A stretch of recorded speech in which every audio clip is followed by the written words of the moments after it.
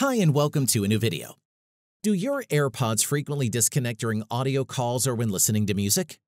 In this video, I will recommend a few possible solutions to resolve AirPods disconnection issue on your iPhone. Let's go. Sometimes you may have disconnection troubles with your AirPods, especially if the device's battery is low. To check their battery status, place your AirPods inside the case, open the lid, and then hold it close to your iPhone. A pop-up window should appear displaying the battery status of both your AirPods as well as their case. Alternatively, you can also add the battery widget to your iPhone.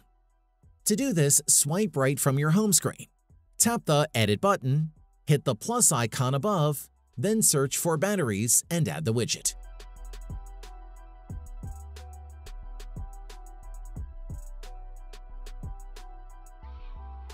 This allows you to effortlessly monitor the battery status of any connected devices on your iPhone, including your AirPods and their case. If you've discovered that your AirPods are running low on battery power, this could explain why they keep disconnecting. Therefore, charge your device and use it again after gaining enough power. To avoid affecting the charging performance of your device, use a toothpick to remove any dust or dirt from the charging port of your AirPods case. However, if your AirPods have enough battery on the onset of the issue, check if you've mistakenly disabled your Bluetooth connection. If so, re-enable it and keep both devices close to one another. In case the issue remains, try to remove your AirPods from your iPhone's paired devices and reconnect them after a few seconds. Open Settings and go to Bluetooth. Tap on the I button beside your AirPod's name and then press Forget this device. After a few seconds, reconnect them to your iPhone to see if the disconnection issue has been resolved.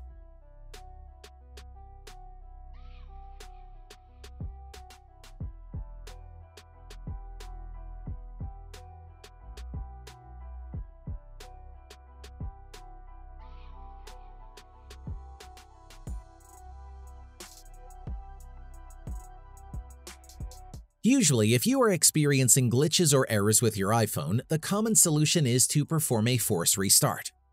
Keep in mind, though, that the specific combination of keys required to do this may vary depending on the model of iPhone you have. For iPhones with Face ID such as iPhone X, iPhone 11, or any newer model, do the following steps. The following procedure also applies for iPhone 8 and iPhone SE. Press and quickly release the volume up and volume down buttons respectively. Then press and hold the side button. Once the Apple logo appears, release the side button and wait for your iPhone to restart. On the other hand, the process is slightly different on the iPhone 7. In this case, you need to press and hold both the volume down and side buttons simultaneously. Continue holding both buttons until the Apple logo appears on the screen. For those with an iPhone 6s or earlier, press and hold both the sleep and home buttons at the same time. Keep holding both buttons and release them when the Apple logo appears. At this point, if none of the previous solutions have managed to resolve the problem, you should reset your AirPods as a last resort. For your reference, click on the tag in the top right corner to watch another of my videos, where I've explained how to properly reset your AirPods to factory defaults. And that's it. If I could help you, feel free to give this video a thumbs up and don't forget to subscribe. Leave a comment down below if you have any questions. See you next time. Bye.